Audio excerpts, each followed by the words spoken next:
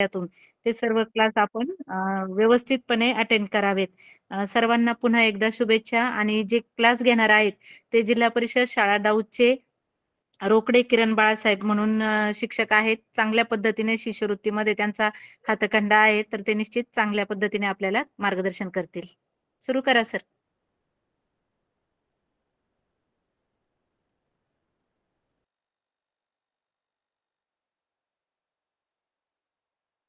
विषय आपला गणित आणि घटक आहे संख्याज्ञान.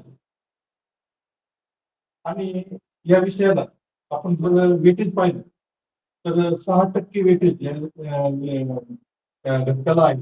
गणित एकूण आपले शंभर मार्काला असतं पन्नास प्रश्न असतात आणि मग सहा टक्केच्या हिशोबाने जर केलं आपण तर साधारण बारा प्रश्न सहा प्रश्न येतात आणि बारा मार्काला हा घटक या घटकावर प्रश्न विचारले जातात. तर संख्याज्ञानमध्ये आपल्याला म्हणजे संख्या आणि त्या संख्येचे प्रकार आज या तासाला आपल्याला पाहिजे आहे तर संख्या आपण जर म्हणजे, म्हणजे संख्यांचा वापर कधीपासून चालू झाला. म्हणजे वगैरे याच्या जर परत गेलो आपण तर साधारण आठ हजार वर्षापूर्वी माणूस दगडांवर अ, पुन्हा चित्र काढायला लागले. आणि तिथपासून या संख्येच्या लेखनाला सुरुवात झाली असं मानलं जात. आता ज्यावेळेस माणूस एकाच ठिकाणी स्थिरावला आणि मग तो वस्तूंचा तो संग्रह करायला लागला गोळा करायला लागला आणि मग ते मोजण्याची त्याला गरज पडायला लागली. म्हणून त्यांनी पहिल्यांदा हात- हाताच्या बोटांचा वापर करून संख्या मोजायला सुरुवात केली. आणि मग सर्वप्रथम त्यांनी मोजण्यासाठी संख्या काढल्या. आता आपण जे शून्य एक दोन तीन चार हे जे अंक वापरतो नऊ शून्य ते नऊ पर्यंत दहा अंक आहेत ते. तर त्याला इंडो अरेबिक अंक असं म्हटलं जातं. आपण रोमन अंक आपल्याला माहिती सात रोमन अंकांपासून आपण संख्या बनवतो. तर या इंडो अरेबिक जे दहा अंक आहेत त्याच्यापासून आपण संख्या बनवतो. अंक अंक म्हणजे शून्य ते नऊ आणि त्याच्यापासून बनणारी संख्या. आता या संख्येचे प्रकार आपल्याला पाहिजे. तर संख्याचा पहिला प्रकार आहे नैसर्गिक संख्या. नैसर्गिक संख्या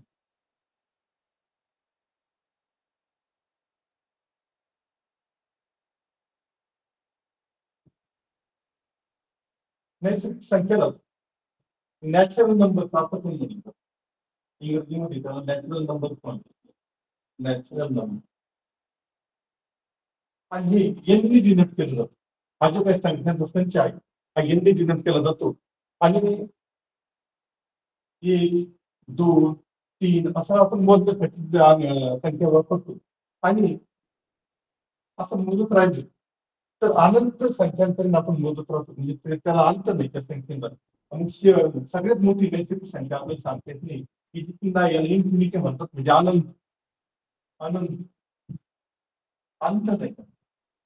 पण सगळ्यात लहान नैसर्गिक संख्या मात्र आपण सांगू शकतो. सर्वात लहान नैसर्गिक संख्या एक आहे. सर्वात लहान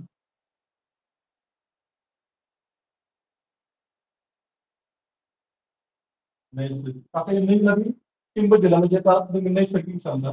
नैसर्गिक संख्या. आहे. एक सर्वात मोठी संख्या. आहे. अशा प्रकारे. बस आता त्यानंतर माणसाला पुढे तुम्ही व्यवहार वगैरे करायला लागला मग दोन समजा दोन वस्तू त्याच्याकडे. त्या दोन वस्तू पैकी त्या दोन्ही वस्तू वापरल्या तर मग त्याच्याकडे काय शिल्लक राहील? हे सांगण्यासाठी या नैसर्गिक संख्यांमध्ये संख्या नव्हती. मग पुढे शून्याचा शोध लागला. आपण सर्वांना माहिती शून्याचा शोध हा भारतामध्ये लागला आणि आर्यभट्ट नावाचे जे शास्त्रज्ञ होते ऋषीमुनी होते सहाव्या शतकामध्ये त्यांनी शून्याचा शोध लावला. आणि शून्य आणि या सर्व नैसर्गिक ध्यानात घ्या. या ज्या नैसर्गिक संख्या आपण पाहिलं एक दोन तीन चार पाच शंभर वगैरे असं पुढे जेवढी इन्फिनिटी अनंतपर्यंत अनंत संख्यांपर्यंत या सर्व संख्या त्या पूर्ण संख्यांमध्ये येतात. आणि अजून त्याच्यामध्ये शून्य ऍड केलेलं असतं हे शून्य पहिल्यांदा शून्य आणि मग सगळ्या नैसर्गिक संख्या सगळ्या शून्य आणि सर्व नैसर्गिक संख्या मिळून अं, पूर्ण संख्या तयार होतात तर दुसऱ्या संख्या दुसऱ्याची आहे पूर्ण संख्या पूर्ण संख्या यांना होल नंबर असं म्हणतो होल नंबर आणि डब्ल्यू करतात शून्य एक दोन तीन चार पाच सहा सात आणि सर्वात मोठी इन्फिनिटी अनंत. अशा प्रकारे हे शून्य आणि सर्व नैसर्गिक संख्या मिळून पूर्ण संख्या तयार होते. अशा प्रकारचा दुसरा संच संख्यांचा तयार होतो. त्यानंतर आता पुढे जाऊन आणखी त्याने व्यवहार करायला लागला शेती करायला लागला या ठिकाणी ठिकाणी स्थिर सावध झाला. त्यानंतर व्यवहार करताना त्याच्या असं घेण्यात आलं. समजा एखाद्या वर्षी पीक केलं. त्या पिकाला अं, आणण्यासाठी त्यांनी एक हजार रुपये समजा खर्च केला. आणि त्या वर्षी दुष्काळ पडला किंवा रोगराई पडली आणि ते पीक त्याला काही व्यवस्थित आलं नाही. आणि त्याला ते हजार तर खर्च केले होते पण अजून ते काढण्यासाठी वगैरे अजून दोनशे रुपये लागले. ते दोनशे रुपये त्याच्याकडे नव्हते. त्याच्याकडे हजार रुपये होते. एक दोनशे रुपये उसने आली. परंतु त्याला त्या शेताचे उत्पन्न फक्त हजार रुपये झालं. म्हणजे दोनशे रुपये त्याला ते तोटा झाला कर्ज झालं त्याचं. दुसऱ्याकडून उसने आलं तर कर्ज होत. तर त्याला ते कर्ज झालं. आणि मग आता जर त्याला विचारलं कोणी तुला किती उत्पन्न झालं? तर आपण असं म्हणू शकत नाही मला काहीच उत्पन्न झालं असं आपण म्हणू शकतो आपल्याला उत्पन्न झालं नाही परंतु दोनशे रुपये तोटा झालेले दोनशे रुपये आपला खर्च झालेले हे दाखवण्यासाठी मग पुढे निघल्यात पूर्णांक संख्या. पूर्णांक संख्या.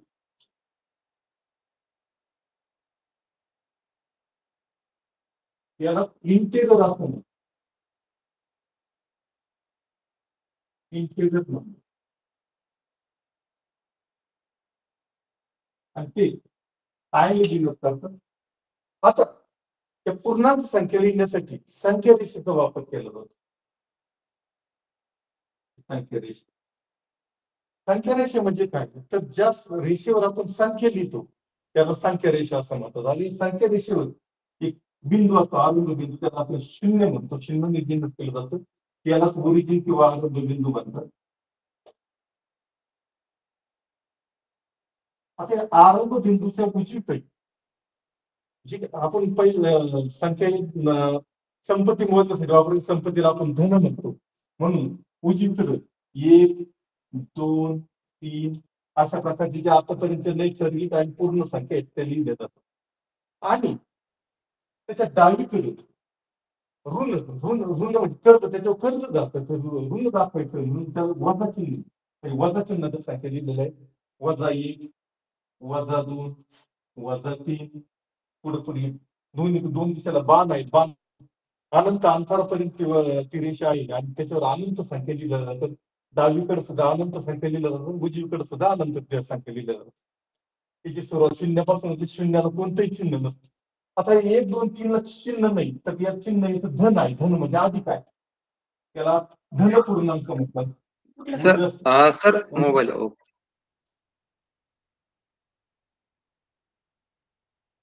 आवाज़ थोडा अस्पष्ट येतोय सर. उजव्या बाजूला जी संख्या आहे ओके सर ओके चलो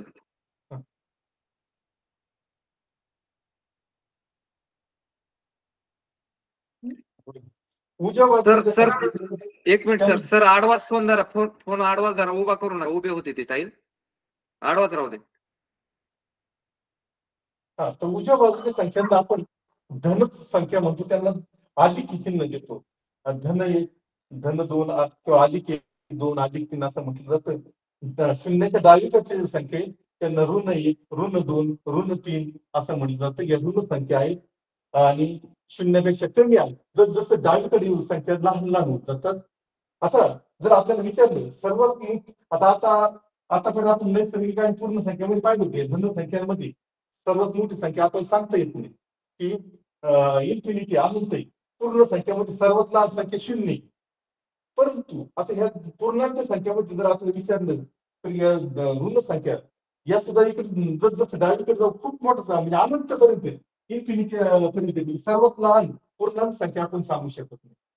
परंतु सर्वात मोठा ऋण पूर्णांक मात्र आपण सांगू शकतो. आणि तुम्हाला परीक्षेला प्रश्न येईल सर्वात मोठा ऋण पूर्णांक कोणता? तर सर्वात मोठा ऋण पूर्णांक हा वजा एक वजा दोन पेक्षा वजा येते मोठे असतात. वजा एक पासून पेक्षा शून्य मोठ्या जस संख्या जसं संख्या जस जसं आपण उत्तरेकडे जातो संख्या मोठमोठाली होत चालतो आणि मग जर आपल्याला प्रश्न विचारला सर्वात मोठा ऋण पूर्णांक कोणता? तर तो वजा एक. सर्वात मोठा सर्वात मोठा ऋण पूर्णांक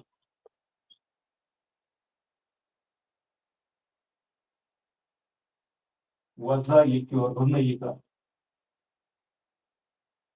अशा प्रकारे हे संख्यांचे आपण मूलभूत प्रकार पाहतो तर तीन प्रकार पाहिले तर पुढचे प्रकार आपण पुढे पाहू.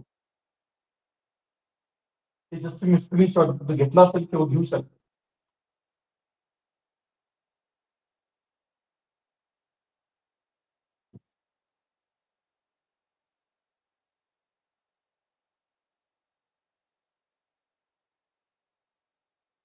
पुढे. संख्यांच्या मूलभूत प्रकार- प्रकारामध्ये आपल्याला चौथा प्रकार पाहायचा आहे. परिमेय संख्या परिमेय संख्या परिमेय संख्यांनाच रॅशनल नंबर असं म्हणतात. रॅशनल नंबर आता तर आपण पाहिलं होतं. तो इंग्रजीत जे काय शब्द आहे. त्याचं पहिलं जे अक्षर आहे त्याने आपण तो संख्या डिनोट केला होता. परिमेय संख्यांचा जो रॅशनल नंबर आजने जरी चालू होत असता तरी क्यू ने डिनोट करतात क्यू बरोबर. आता परिमेय संख्या कशाला म्हणायचं? तर परिमेय संख्या, ज्या संख्या ज्या पी छेद क्यू अंश आणि छेद या स्वरूपात मांडलेल्या असतात अंश व छेद या स्वरूपात. या स्वरूपात मांडलेल्या असतात किंवा मांडता येतात मांडता येतात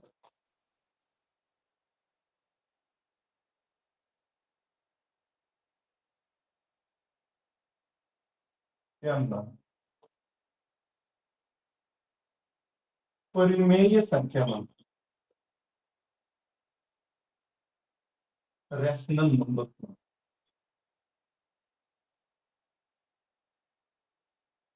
परंतु इथे पण एक अट आहे काय अट आहे तर त्याचा जे प- छेद आहे हा छेद शून्य नसला पाहिजे छेद शून्य नसला पाहिजे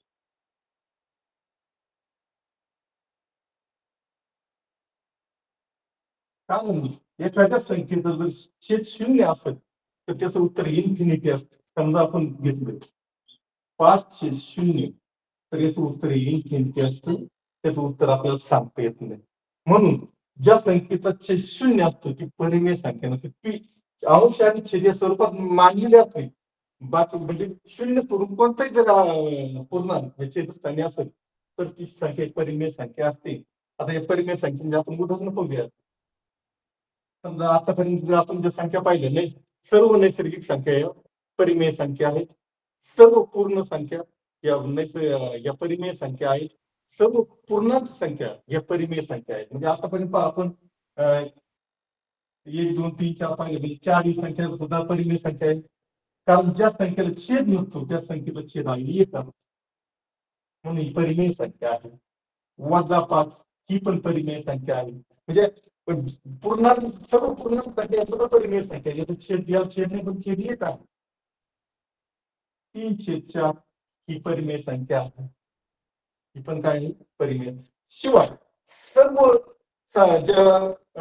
ज्या संख्यांचा वर्ग वर्गमूळ निघतं तर त्या संख्या सुद्धा परिमेय संख्या असतात म्हणजे समजा वर्गमुळात चार घेतली. तर वर्गमुळात चार म्हणजे आपल्याला माहिती वर्ग चारचं वर्गमूळ आहे दोन आहे. म्हणजे वर्गमुळात चार ही सुद्धा संख्या काय आहे? परिमेय संख्या आहे. त्याचप्रमाणे आणखी एक गोष्ट. आता वर्गमुळात दोन ही परिमेय संख्या नाही. ही परिमेय संख्या नाही. परंतु जर छेदस्थानी सुद्धा वर्गमुळात दोन असेल तर ही मात्र परिमेय संख्या आहे. वर्गमुळात दोन छेद वर्गमुळात दोन. म्हणजे छेदस्थानी जर तीच संख्या असेल तर ती सुद्धा परिमेय संख्या असते. कारण दुवा- वर्गमुळात दोन आणि वर्गमुळात दोन ला जर भाग दिला तर त्याचं उत्तर एक येतं. म्हणजे वर्गमुळ नुसतं वर्गमुळात दोन ही संख्या परिमेय संख्या नाही परंतु वर्गमुळात दोन छेद वर्गमुळात दोन ही मात्र परिमेय संख्या. हे गोष्ट द्या. म्हणजे परिमेय संख्यांची उदाहरण उदाहरणं मी तुम्हाला सर्व दिली. सर्व जे काही नैसर्गिक संख्या आहेत, त्या परिमेय संख्या आहेत. सर्व पूर्ण संख्या परिमेय संख्या आहेत. सर्व पूर्णांक संख्या सुद्धा परिमेय संख्या आहेत. त्याचप्रमाणे करणी रूपातील ज्यांचं वर्गमूळ निघतंय ज्या पूर्ण व ज्यांचं वर्गमूळ निघतंय संख्या परिमेय संख्या आहेत आणि छेदक अंशच प्राणीची संख्या आहे. ती संख्या जर छेदक प्राणी असेल तर ती संख्या सुद्धा परिमेय संख्या आहे. अशा प्रकारे ही परिमेय संख्यांची उदाहरणं आपल्याला देता येतील. पण परिमेय संख्यांमध्ये एकच आठ ध्यानात ठेवायची. त्या संख्येचा छेद शून्य नसला पाहिजे. शून्य सोडून कोणताही पूर्णांक असला तरी चालत परंतु शून्य जर असेल तर ती परिमेय संख्या नसते कारण त्याचं उत्तर येईल की नाही तुम्ही याचं स्क्रीनशॉट काढून घेऊ शकता. परिमेय संख्या यानंतर.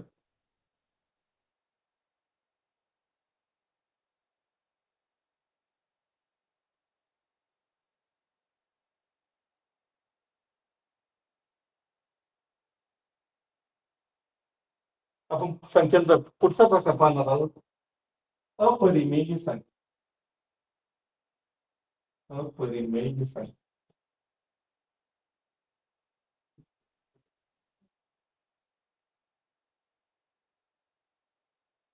त्यांनाच आपण इरॅशनल नंबर म्हणतो.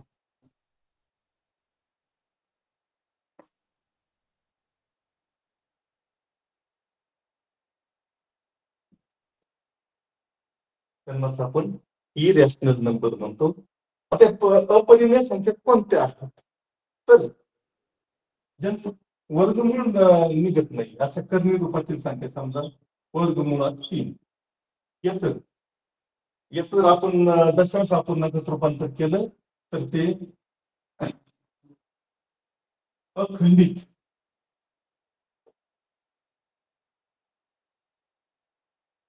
व अनावर्ती येत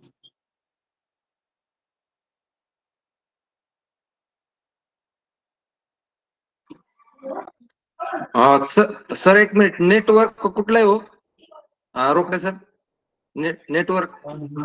हे केबल आहे ना असं ना नाही अस्पष्ट आहे थोडं बँडविड्थ कमी आहे त्याला. म्हणजे असं Bandwidth कमी आहे. क्लिअरिटी आहे ना आवाजाला आहे ना आणि फ- फळ्यावरच सुद्धा दिसणार असं क्लिअर दिसत नाही. एक मिनिट. कॅमेरा येईल का? हा सर एक मिनिट करू राहील का? हा, नाही नेटचा प्रॉब्लेम दिसतोय तो तुमचा नाही प्रॉब्लेम नेट दुसरा असेल तर पहा पहा ना हे.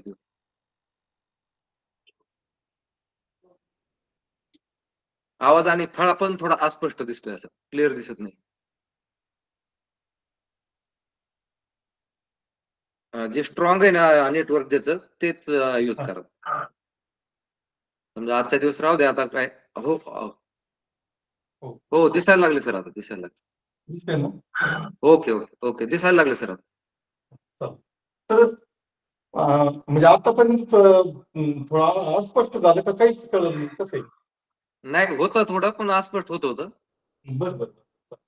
आता याचं दशांश रूप अपरिमेय संख्यांचं जे काही दशांश रूप असतं ते अखंडित आणि अनावर्ती. आता हे काय आहे? अनावर्ती अखंडित ते आपण थोडक्यात पाहूया समजा पहिल्यांदा आपण हा शब्द पाहू आहे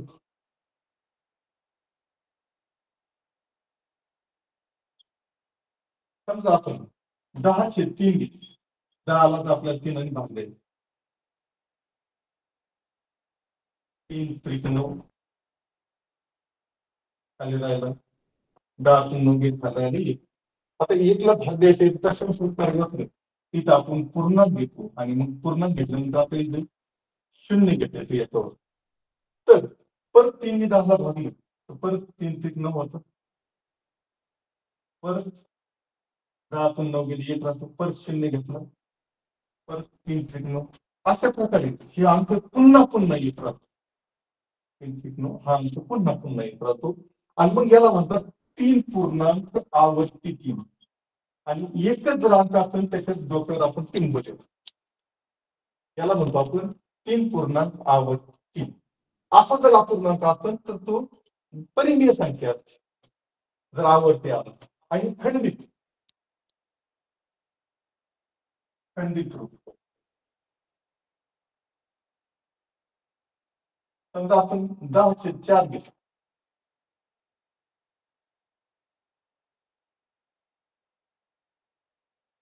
चार दुनिया आठ दहा पुन्हा आठ गेली खरबाईचे दोन आता चारने दोनाला भाग जात नाही म्हणून पूर्णांक दिला आणि दोनचे पुढे शून्य घेतला चार पंचे वीस बाकी शून्य आणि मी निश्चित भाग दिलेला आहे ना. बाकी शून्य आले त्याला आपण निश्चित भाग म्हणतो आणि ह्या भागात संपलेला भाग खंडित रूप मानतात.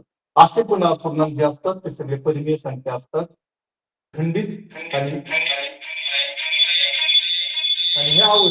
आवर्ती म्हणजे अंकांचा एक गट किंवा तो एखादा अंक पुन्हा पुन्हा येत राहतो त्याला आवर्ती म्हणतो अपरिमेय संख्यांमध्ये मात्र त्याचे जे काही रूप असतं ते अखंडित असत. म्हणजे का असं खंडित होत नाही ते कितीतरी अंक पुढे पुढे येत राहतात. ते खंडितच होत नाही. आणि अन्नावरती म्हणजे वेगवेगळे अंक येत राहतात. तर त्याला आणि मग त्याचं जे आपल्याला दशांश रूप काढायचं असतं ते आपल्याला असं भाकारच्या साह्याने काढता येत नाही. तर ते लॉक टेबलच्या किंवा कॅल्क्युलेटरच्या साह्याने काढता येत जर तुम्हाला वर्गमुळात तीनशे जर तुम्हाला हे पाहायचं असेल तर तुम्ही ते कॅल्क्युलेटरमध्ये टाकून पाहिलं तर ते खूप मोठं उत्तर येतं. अखंडित आणि अनावर्ती येतं. पाचशेच्या संख्या आहेत सगळ्या. आहेत करणी रूपातले जे ज्यांचं वर्गमूळ निघत नाही आता सर्व संख्या अपरिमेय संख्यामध्ये येतच नाही. त्या कोणत्या वर्गमुळात दोन वर्गमुळात तीन वर्गमुळात पाच वर्गमुळात सहा. ज्यांचं ज्या संख्या पूर्ण वर्ग नाहीत ज्यांचं वर्गमूळ निघत नाही अशा सर्व संख्या ह्या अपरिमेय संख्या असतात. त्यांना अपरिमेय आणि पाय. पाय ही संख्या पाय म्हणजे आपल्याला माहीत आहे पाय म्हणजे वर्तुळाचं परिघ आणि त्रिज्या याचं गुणोत्तराला आपण पाय म्हणतो. त्याचं जे आपण अं, किंमत घेतो बावीसशे सात ही मात्र परिमेय संख्या आहे परंतु पाय. बावीसशे सात हे काय त्याचं अं, म्हणजे अप्रोक्सिमेटली अंदाजित आपण उत्तर घेतलेलं आहे. याचं उत्तर तीन पूर्णांक एक चार पुढे पुढे येत राहतं. म्हणून पाय पाय या अपरिमेय संख्या. अशा प्रकारे अपरिमेय संख्या इरॅशनल नंबर्स आपण पाहिलेले तुम्ही स्क्रीनशॉट काढून घ्या.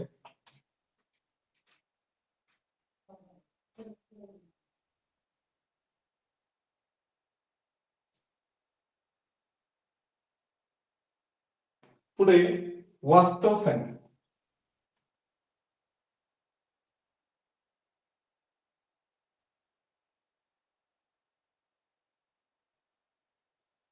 रियल नंबर्स रियल नंबर आतापर्यंत जे काही सर्व संख्या झाल्या या सर्व संख्यांना वास्तव संख्या म्हटलं जातं.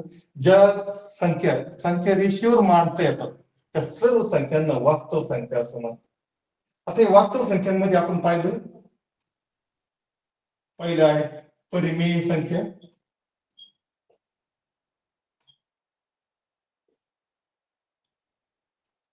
ज्यांना आपण रॅशनल नंबर म्हणलो होतो. दुसऱ्या आहेत अपरिमेय संख्या.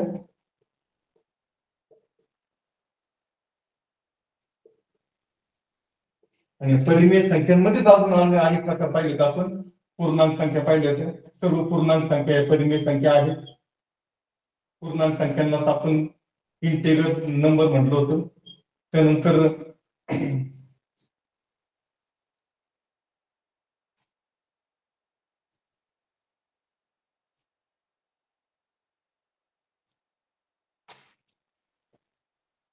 या पूर्णांक संख्येमध्येच आपल्याला माहिती आहे पूर्ण संख्या आहे पूर्ण संख्या या पूर्ण संख्यांमध्येच नैसर्गिक संख्या आहे.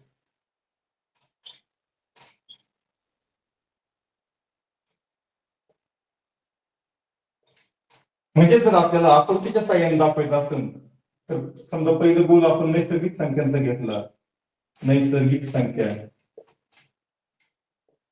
या सर्व नैसर्गिक संख्या या पूर्ण संख्यांमध्ये येतात. पूर्ण संख्यांचे एकूण. पूर्ण संख्या. पूर्ण संख्येमध्ये तुम्हाला माहिती फक्त नैसर्गिक संख्या अगोदर शून्य शून्य आणि सर्व नैसर्गिक संख्या मिळून पूर्ण संख्या तयार होतात. त्या सर्व पूर्ण संख्या या पूर्णांक संख्यांमध्ये येतात. शून्य सर्व धन पूर्णांक आणि सर्व ऋण पूर्णांक मिळून पूर्णांक संख्या तयार होतात.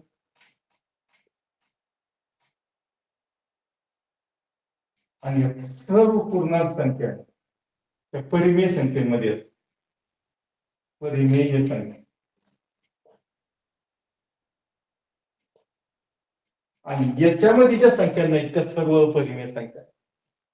अपरिमेय संख्यांमध्ये पूर्णांक संख्या आहे पूर्ण संख्या आहेत नैसर्गिक. सर्व नैसर्गिक संख्या आहे परिमेय संख्या आहे.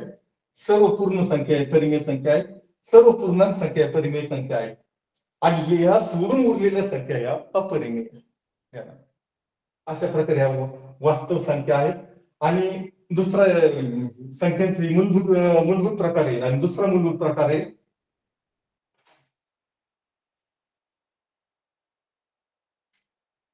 अवास्तव संख्या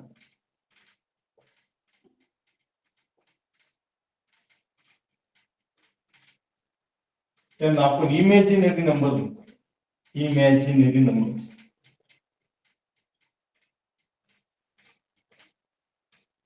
आता अवास्तव संख्येचं ओळखण्याचं सगळ्यात सोपा मार्ग म्हणजे कर्णी रूपातील संख्या त्याला वजा चिन्ह दिलं ऋण कर्णी असणाऱ्या ऋण संख्या। अवास्तव संख्या असतात. तर अशा प्रकारे आपण हे सगळे संख्यांचे मूलभूत प्रकार आपण आतापर्यंत पाहिलेले आहेत. मूलभूत प्रकार दोन आहेत. वास्तव संख्या आणि अवास्तव संख्या त्याच्यामध्येच खाली वास्तव संख्येमध्ये परिमेय संख्या आणि अपरिमेय संख्या असे दोन प्रकार आहेत. परिमेय संख्यांमध्येच मग पूर्णांक संख्या येतात पूर्ण संख्या येतात नैसर्गिक संख्या. अशा प्रकारे इतके सारे आपले मूलभूत प्रकार या संख्येचे आहेत. आता आपण संख्यांचे काही विशेष प्रकार पाहणार आहोत.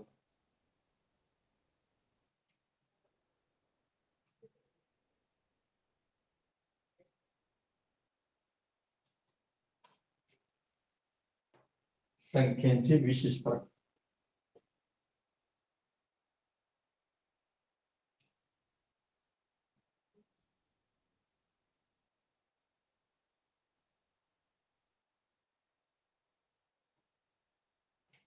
त्यातला पहिला आहे समसंख्या.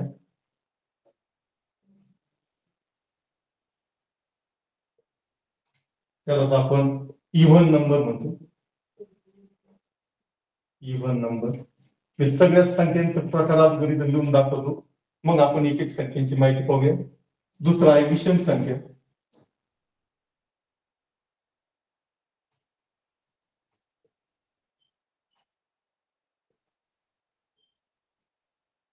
ऑड नंबर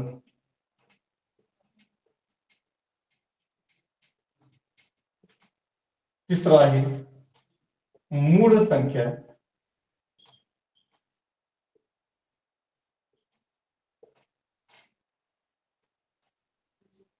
प्राईम नंबर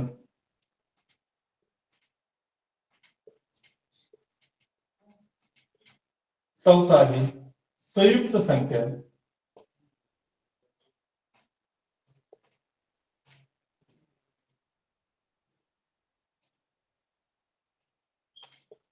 त्याला आपण कंपोजिट नंबर म्हणतो इंग्रजी जे काही त्याचं इंग्रजी नाव आहे. ते मुद्दाम लिहून देत आहे. कारण पुढे तुम्हाला गेलं सगळी इंग्रजी मधून गणित असणार आहे. त्यामुळे लिहून दूर राहिले मी. कंपोजिट नंबर पुढं जोडमूळ संख्या.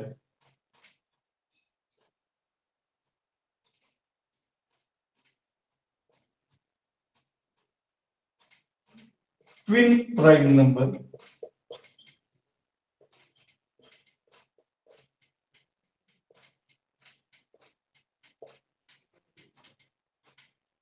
पुढं.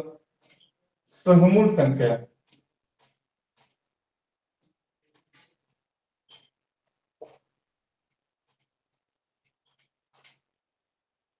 को प्राईम नंबर.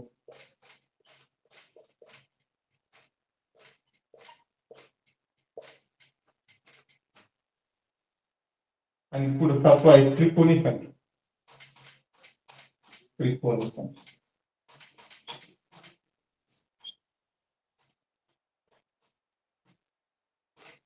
ट्रायंगुलर नंबर एवढे सगळे नंबर आपल्याला पाहिजे आहे तर एक एक नंबर आपण पाहणार आहोत. पहिला प्रकार आपण समसंख्या पाहणार आहोत.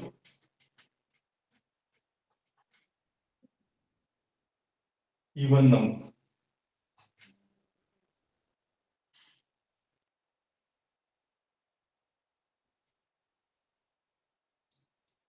समसंख्या. समसंख्या कशाला म्हणायचं? तर ज्या संख्यांना दोन्ही निश्चित भागलं निश्चित भागलाने म्हणजे मी तुम्हाला दाखवलेलं आहे ज्याचं बाकी शून्य ते त्या भागाकाराला निश्चित भाग ज्या संख्येला दोननी ज्या संख्येला दोननी निशेष भागलं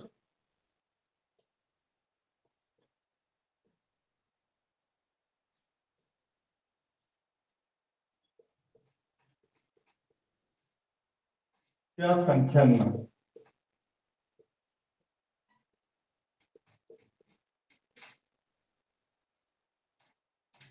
आपण समसंख्या म्हणतो सम संख्या म्हणतो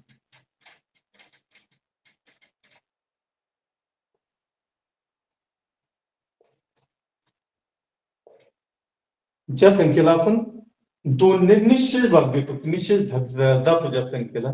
आता मी तुम्हाला सर्व म्हणजे संख्येत संख्येच्या कोणत्या संख्येला काय म्हणजे कसं ओळखायचं वगैरे ते देत आहे. याची उदाहरणं आपण पुढच्या पिरियडला घेणार आहोत. या प्रत्येक याच्यावर उदाहरण आहेत. किंवा प्रश्न येतात. ते प्रश्न आपण संख्या पाहिल्या ह्या संख्येचे प्रकार पाहिल्यानंतर घेणार आहोत. तर म्हणजे पुढच्या तासाला असणार ह्या तासाला आपण फक्त संख्येचे मूलभूत प्रकार आणि विशेष प्रकार आपण पाहणार आहोत. तर आता ओळखायचं कसं या संख्या ज्या समसंख्येत ओळखायचं कसं आहेत? तर त्यांचे एकच स्थान त्यांच्या एकच स्थान एकच स्थान युनिट प्लेसवर एकच स्थानी म्हणजे युनिट प्लेसवर शून्य दोन चार सहा आठ यापैकी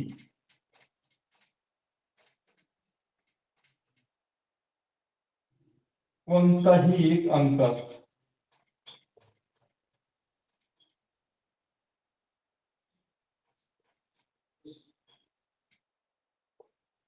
अंक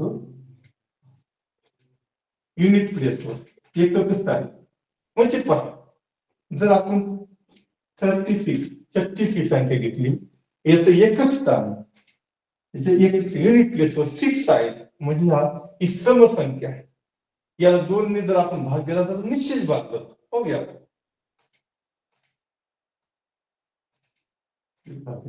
बे एक बे तीनातून दोन गेलं एक राहिला वरून घेतले सहा बे आठी सोळा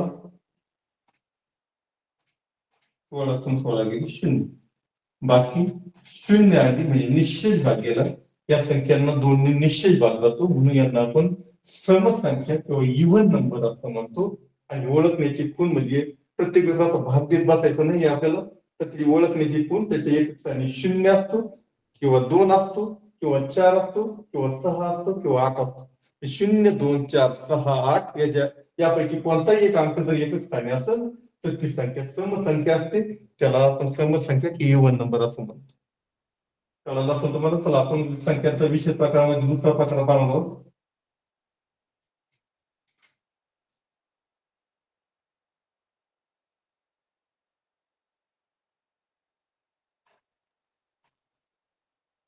विषम संख्या ऑड नंबर। दुसरा प्रकार। विषम संख्या।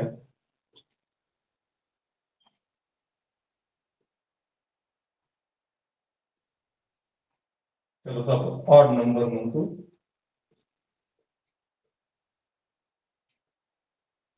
आता विषम संख्या काय असतात? तर त्या संख्यांना जर मग असं मग दोनने आपण भाग दिला, प्रत्येक संख्येला. या संख्यांना पण दोनने भाग द्यायचा?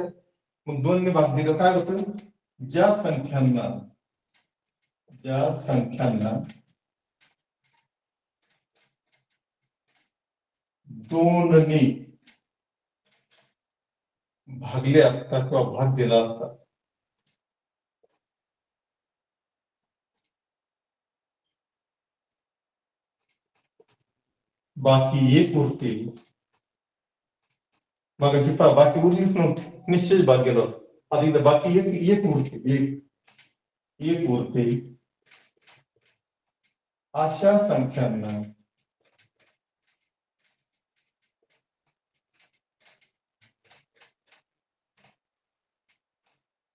विषम संख्या म्हणतात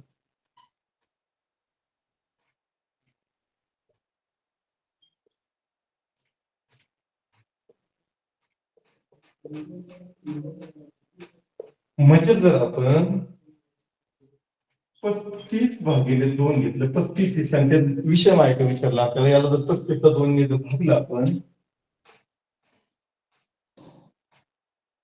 बे बे.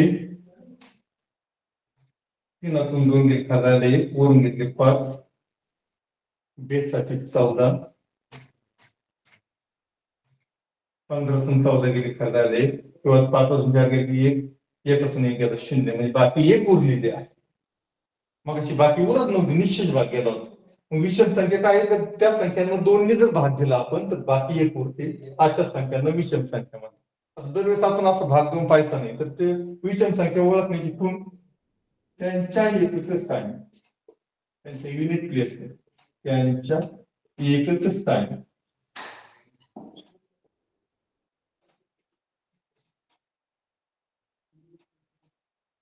एक तीन पाच सात नऊ यापैकी।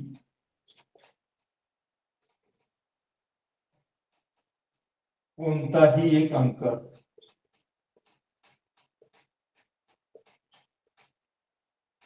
एक अंक।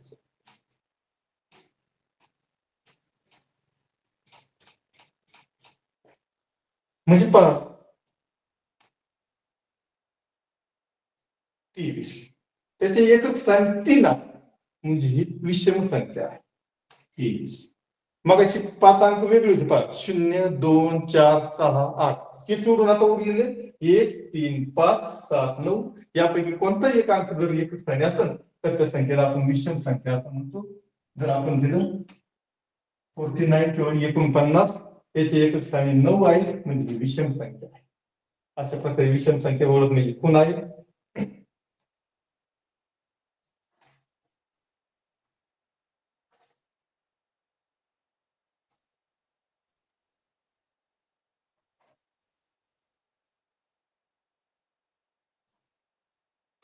आपल्याला याच्यावर उदाहरण उदाहरणं सुद्धा विचारले जातात. त्याचे उदाहरण आपण सोडून बांधणार नाही परंतु त्याचं उदाहरण सोडवायचे कसे हे आपल्याला पाहायचंय. समजा आपल्याला सांगितलं एक ते दहा मध्ये समसंख्या किती आणि विषम संख्या किती असं विचारलं तर बरोबर एक ते दहा म्हणजे दहा दहा संख्या आहेत. तर याच्यामध्ये पाच हे समसंख्या असतात आणि पाच विषम संख्या असतात. पाच सम हो, पाच विषम.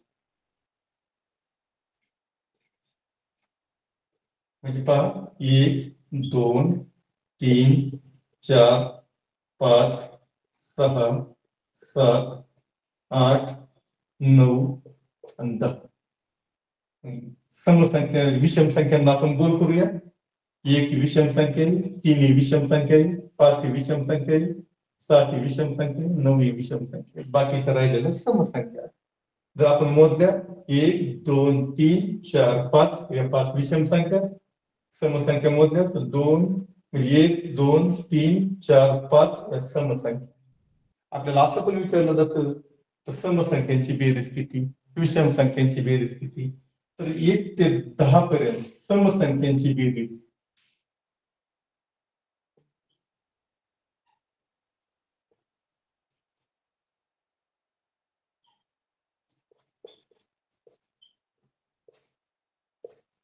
तीस येते.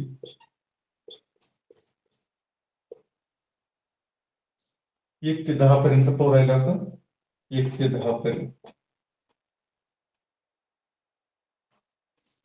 आणि एक ते दहा पर्यंतच पर्यंतच्या विषम संख्यांची बेरीज. विषम संख्यांची बेरीज. पंचवीस येते आणि मग आपल्याला जर विचारलं एक ते दहा पर्यंत सर्व संख्यांची बेरीज दहा पर्यंत सर्व संख्यांची बेरीज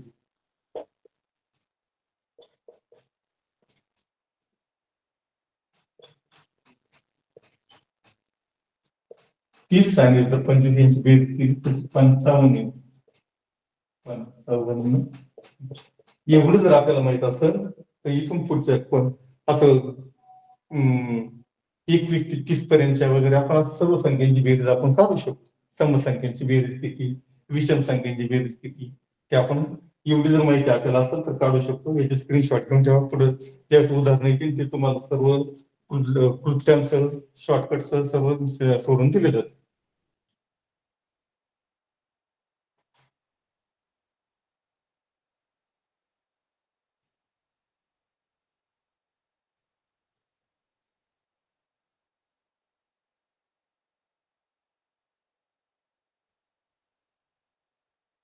यानंतर संख्यांचा विशेष प्रकार तिसरा प्रकार आहे मूळ संख्या प्राईम नंबर्स मूळ संख्या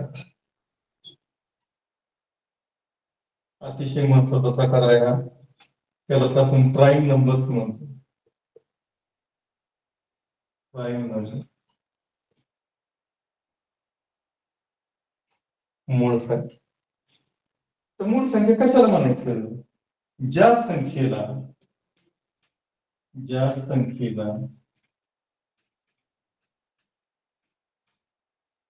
एक व सर्व संख्यांना एक भागतात मग एक व तीच संख्या.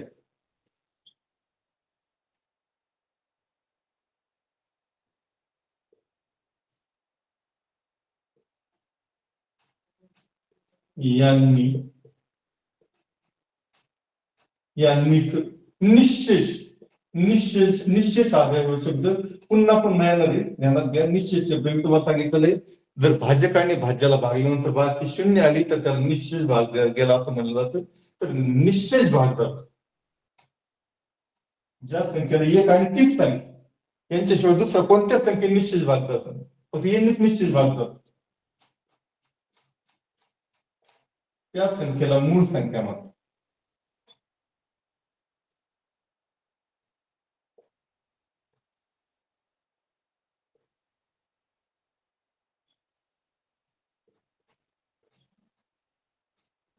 मूळ संख्या म्हणजे प्राईम नंबर म्हणजे तिचे अवयव फक्त एक आणि तीस संख्या असते.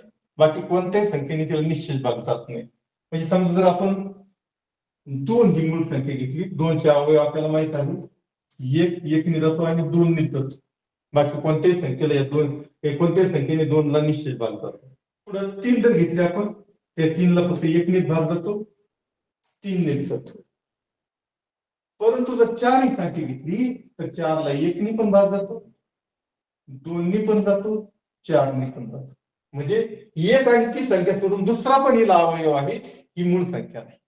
परंतु दोनला एकने आणि तीन फक्त दोन्हीच भाग जातो तीनला फक्त एकने आणि तीननेच निश्चित भाग जातो. पुढे जर पाच घेतली आपण पाच एकने भाग जातो निशेष दोनने जात नाही तीनने जात नाही चारने जात नाही पाचने जातो. म्हणजे ही पण मूळ संख्या. आहे सहा जर घेतला आपण तर सहाला एक ने पण भाग जातो दोन ने पण जातो तीन ने पण निश्चित भाग जातो सहाने पण जातो.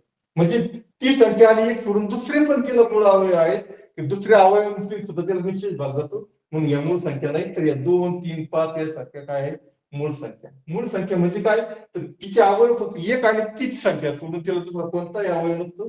तिला मूळ संख्या किंवा प्राईम नंबर जर आपल्याला विचारलं, एक ते शंभर पर्यंत, एक ते शंभर पर्यंत. मूळ संख्या किती?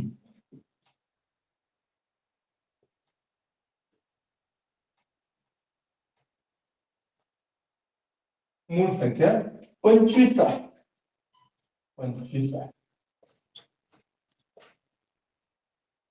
आता मूळच्या नंतर जे काय येणार ते कंपोजिट किंवा संयुक्त संख्या येणार. त्यात सुद्धा असं आहे पण ही एक जी संख्या आहे ही एक ही संख्या याचाच एकदम महत्वाचं ध्यानात ठेवा. एक ही संख्या मूळ संख्या पण नाही आणि संयुक्त पण नाही. एक ही संख्या. हे वाक्य एकदम महत्वाचं आहे. मूळ ही नाही. व संयुक्त सुद्धा नाही.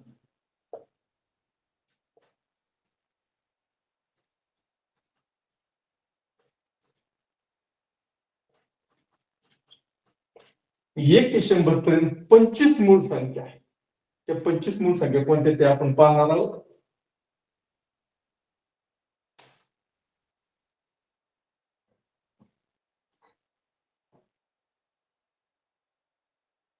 एक ते दहा पर्यंत.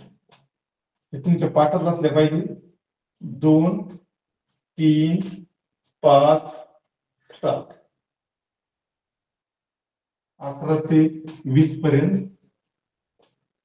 अकरा तेरा सत्रह एकोणीस एकवीस ते तीस पर्यंत तेवीस एकोणतीस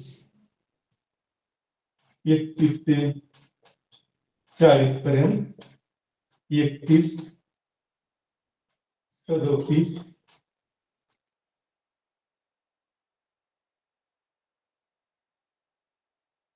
एक्केचाळीस ते पन्नास पर्यंत एक्केचाळीस त्रेचाळीस.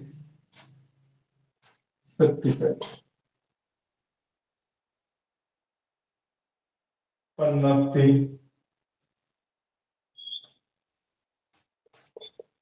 साठ पर्यंत.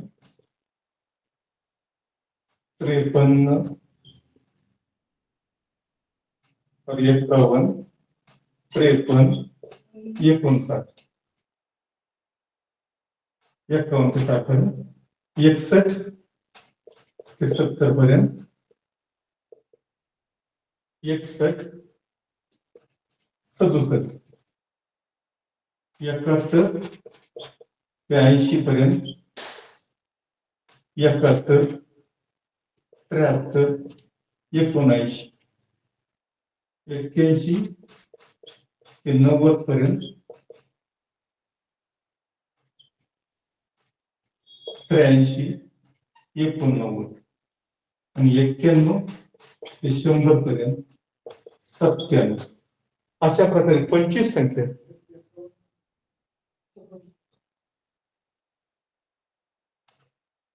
सॉरी सत्तावन्न ते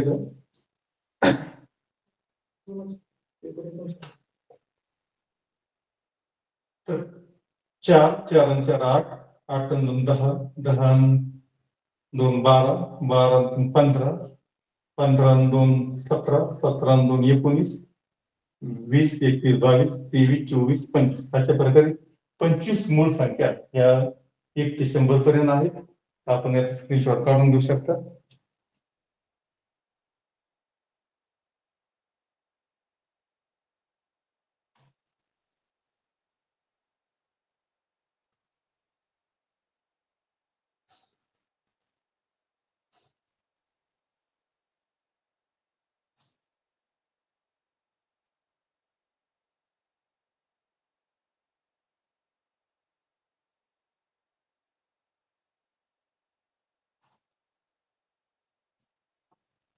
पुढचा प्रकार आहे. चौथा संयुक्त संख्या.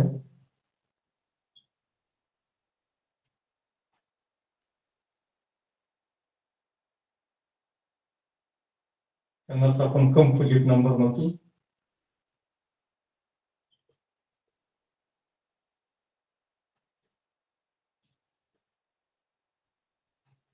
मगाशी आपण पाहिलंच आहे. त्याला एक अंकी संख्या सोडून दुसरे पण अवयव असतात या संख्यांना.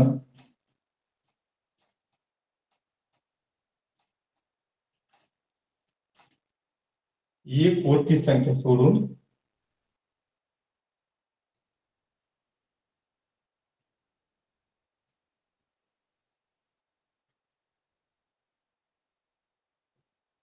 इतरही संख्यांनी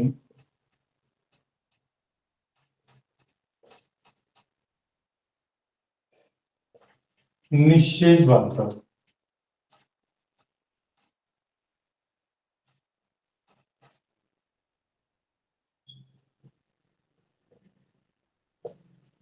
अशा संख्यांना आपण स- संयुक्त संख्या किंवा कंप्लिट नंबर म्हणतो एक ते शंभर पर्यंत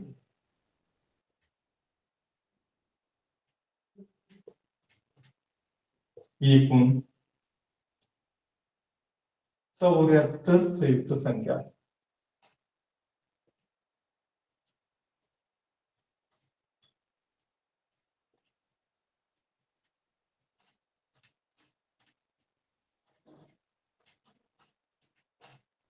ध्यानात घ्या आता आपण एक ते शंभर पर्यंत पंचवीस मूळ संख्या पाहिजे पंचवीस मूळ संख्या प्राईम नंबर चौऱ्याहत्तर कंपोजिट संख्या संयुक्त संख्या.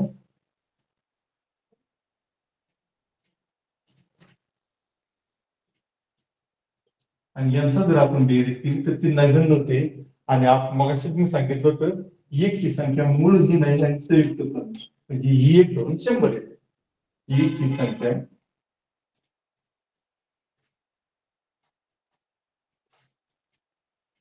मूळ ही नाही.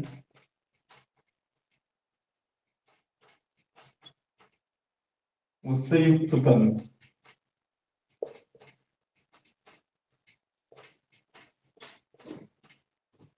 म्हणजे संयुक्त संख्या जर आपल्याला पाहिजे असेल तर एक ही सोडून द्यायची त्यानंतर मग ज्या पंचवीस मूळ संख्या मी तुम्हाला सांगितलं त्या सोडून द्यायच्या मग उरलेल्या ज्या एक ते शंभर पर्यंत ज्या सगळ्या संख्या आहेत त्या एकूण चौऱ्याहत्तर भरतात त्या सर्व संयुक्त संख्या आहेत उदाहरणार्थ बेचाळीस जर आपण घेतली तर बेचाळीसला सहाने पण भाग जातो सहाच्या पाड्यात आहेत बेचाळीस सातने पण भाग जातो एकनी पण जातो दोननी पण जातो म्हणजे अशा वेग अनेक संख्यांनी याला निश्चित भाग जातो. म्हणून ही संयुक्त संख्या आहे. अशा प्रकारच्या एकूण एक ते शंभर पर्यंत चौऱ्याहत्तर संयुक्त संख्या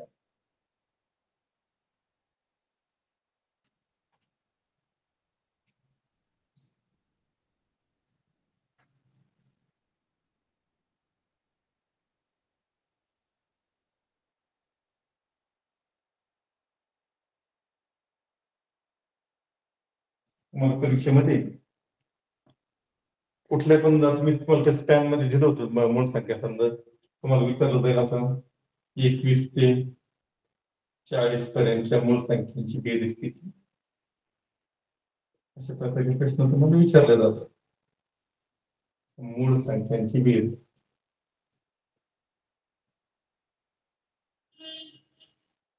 हम्म.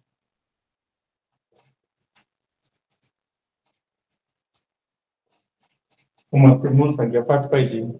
एकवीस ते तीस पर्यंत कोणत्या होत्या? एकतीस ते चाळीस पर्यंत कोणत्या होत्या? मग ते त्यांची बेरीज केली. आपल्याला ते उत्तर सोडवते तर ते आपण हा, पुढच्या तासाला आपण ते सर्व उदाहरण सोडून घेणार आहोत. सर थोड्या वेळ सगळ्यांचे माईक ऑन कोणता करा आणि प्रकार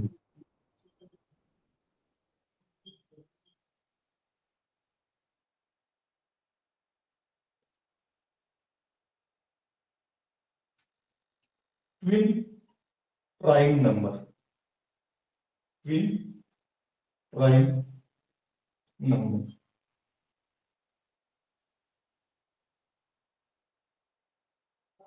आता ट्विन प्राईम नंबर काय आता मूळ संख्या हा शब्द काढलेलाच आहे तर ट्विन प्राईम नंबर कशाला म्हणायचं ज्या दोन मूळ संख्यांमध्ये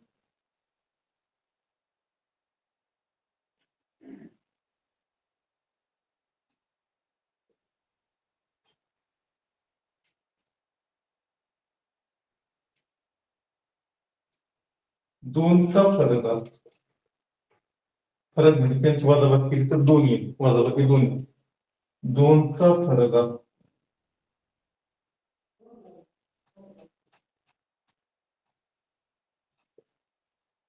त्या मूळ संख्यांना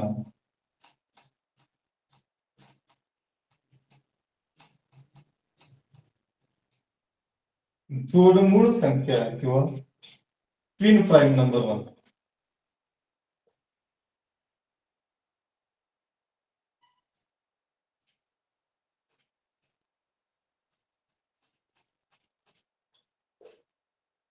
आता कोणत्या पहा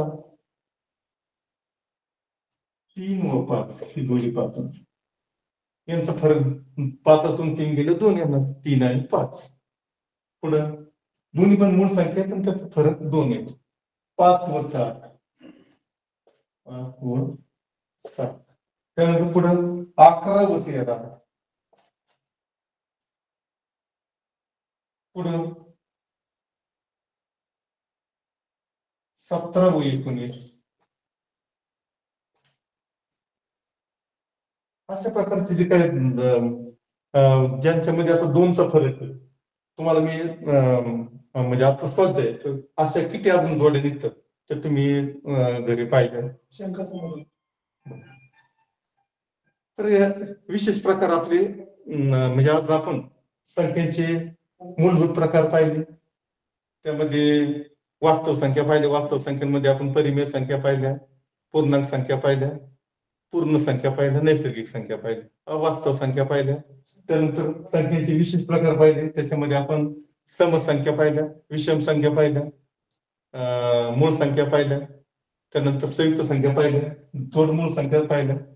बाकी जो उरलेला भाग आपण पुढच्या दिवसाला घेणार आहोत. तर आता आपण शंका समाधानासाठी पुढची दहा मिनिटं आपण ठेवणार आहोत तर कोणाला काही शंका असेल तर विचारा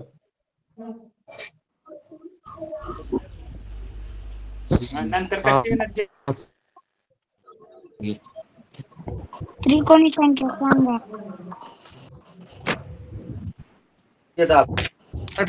सर समूळ संख्या आणि त्रिकोणी संख्या. सांगा. आतापर्यंत तुम्ही सगळ्यांनी स्क्रीनशॉट काढून घेतले हंड्रेड यातलं कोणता भाग मला काही समजला नसेल संकल्पना तुम्हाला क्लिअर झाली. नसेल पसंत दिले. तुम्ही विचारू शकता. याचे प्रश्न उत्तर आपण पुढच्या याला घेणार आहोत. प्रश्न उत्तर संदर्भात नका विचारू. इथली कोणती संख्या आज मी जे संकल्पना तुम्हाला समजावून सांगितली. या संकल्पनामध्ये कोणती संकल्पना तुम्हाला समजली नाही? किंवा तुम्हाला काही शंका असेल तर विचारा. त्रिकोणी संख्या सांगा? तर अपरिमेय संख्या. सर त्रिकोणी संख्या सांगा त्रिकोण संख्या आपण पुढच्या ताला घेणार आहोत सर अपरिमेय संख्या अपरिमेय संख्या ठीक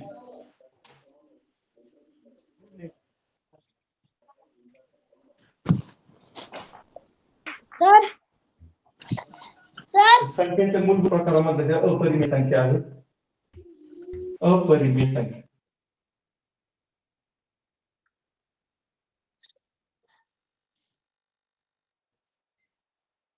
त्याला आपण इरॅशनल नंबर म्हणतो. इरॅशनल नंबर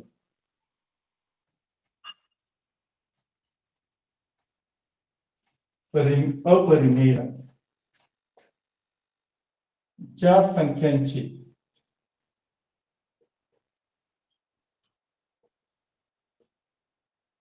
दशांश रूप. भाकार केला दशांश रूप. हे अखंडित.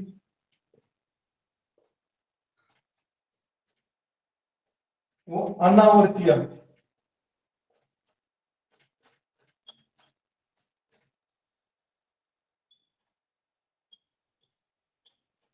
त्यांना अपरिमेय संख्या म्हणतात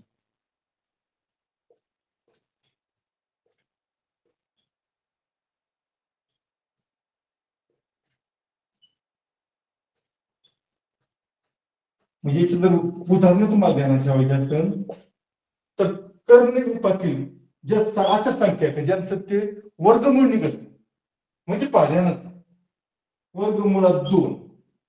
अं, याचं कॅल्क्युलेटर का बरं याचं वर्गमुळात दोन का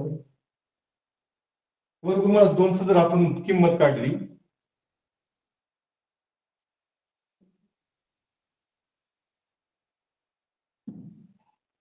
की आपल्याला भाकर साईन करता येत नाही. कॅल्क्युलेटर आणि याच्याच निघते किंमत.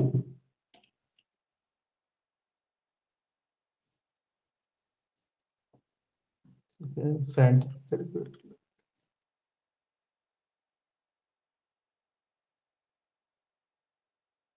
कोणाकडे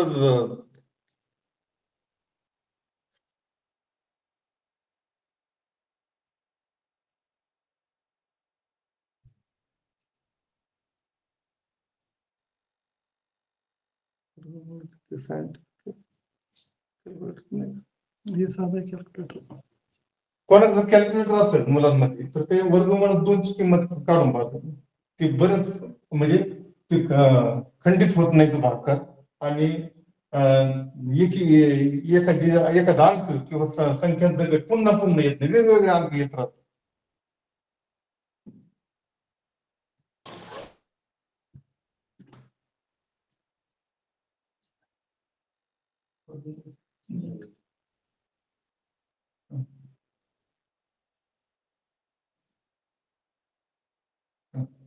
समजा पहा आता वर्गमुळात दोन याची किंमत येते.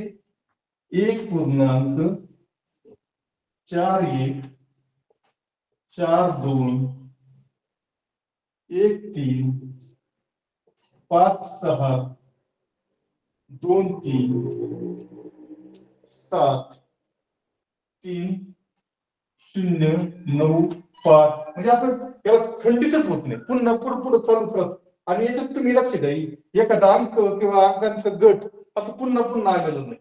आजच्या संख्येला अपरिमेय संख्या म्हणायचं. जर आपण वर्गमुळात चार पाहिले तर याची किंमत आपल्याला माहिती वर्गमुळात चार बरोबर दोन.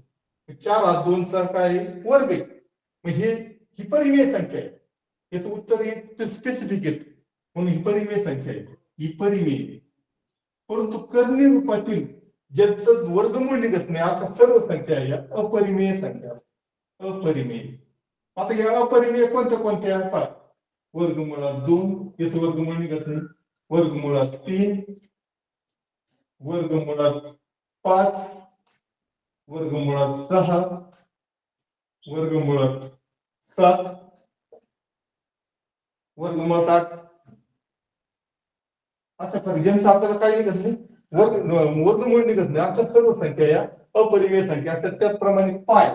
पाय ही संख्या पण अपरिमेय संख्या असते. समजले आता?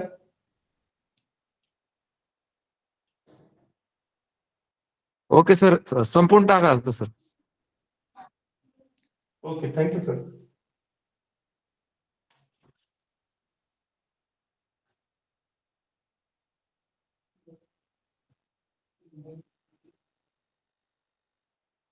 तर आज आपण संख्यांचे प्रकार पाहिलेले आहेत. काही संख्यांचे प्रकार राहिले ते प्रकार आणि यावरची उदाहरणं आपण पुढील तासात घेणार आहोत.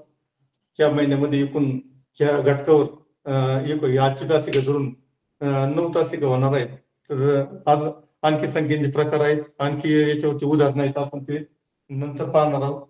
तर आजचा जो काही आहे मी- आणि मी तुम्हाला स्वाध्याय पण दिलेला आहे ते मूळ संख्या. तुम्ही परत एक डिसेंबर पर्यंत मूळ संख्या लिहायची आहे वहीवर. त्याला पाठ करायचे आहे. त्यानंतर तुम्ही अं, जोड मूळ संख्येच्या उरलेल्या जोड्या शोधून काढायचे आहेत हा स्वाध्याय तुमच्यासाठी पुढच्या वेळेस तुम्ही मला ते सांगायचा. धन्यवाद. धन्यवाद रोकडे सर. मिशन आरंभ दोन हजार पंचवीस या अंतर्गत आजचं जे पहिलं पुष्प होतं एक एप्रिल दोन हजार चोवीसपासून झालेली ही मिशन आरंभची कार्यशाळा आणि या कार्यशाळेचं इयत्ता आठवीचं यजमानपद आपल्या कोपरगाव तालुक्याला दिलेलं आहे. कोपरगाव तालुक्यातील पहिलंच पुष्प आमचे मित्र आदरणीय रोकडे सर किरणजी रोकडे सर यांनी घेतलं. अतिशय सुंदर असं विवेचन संख्या ज्ञानावर केलेलं आहे. आपल्या सर्वांच्या शंका त्या ठिकाणी निघाल्या असतील. पुढील तासामध्ये त्याचं शंका निरसन होणारच आहे. तर आमच्या कोपरगाव तालुक्याच्या गट शिक्षणाधिकारी आदरणीय शेख मॅडम यांच्या कुशल नेतृत्वाखाली आणि मार्गदर्शनाखाली ही कार्यशाळा आजची संपन्न झालेली आहे. उद्या परत आपण दुसऱ्या विषयासह भेटूया. धन्यवाद. शुभरात्री.